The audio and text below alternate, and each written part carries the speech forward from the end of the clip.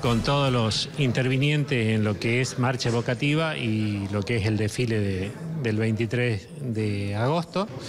Eh, nos pudimos poner de, acuerdo en todos los, los ítems necesarios para la organización. Eh, bueno, ya anunciar firmemente que la marcha evocativa se va a realizar en el circuito de, del Parque Cibi eh, vamos a hacer uso de la primer terraza y en otros sectores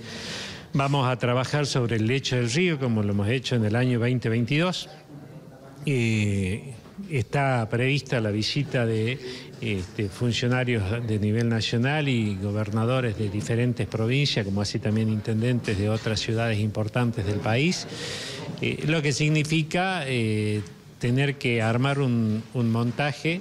de la marcha evocativa de mucha representatividad de los jujeños para ser este, presentada de la mejor manera posible en el contexto nacional, para seguir trabajando en la profundización del conocimiento de nuestra, de nuestra historia y de nuestro este, querido éxodo jujeño eh, que tiene un significado muy importante dentro de los jujeños, pero que mucha gente todavía no ha entendido la importancia eh, en el contexto nacional de, semejante gesta.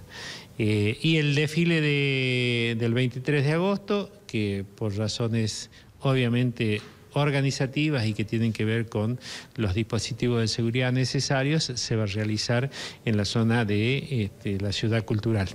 Razón por la cual, bueno, ya hemos trabajado en el diagrama eh, con todos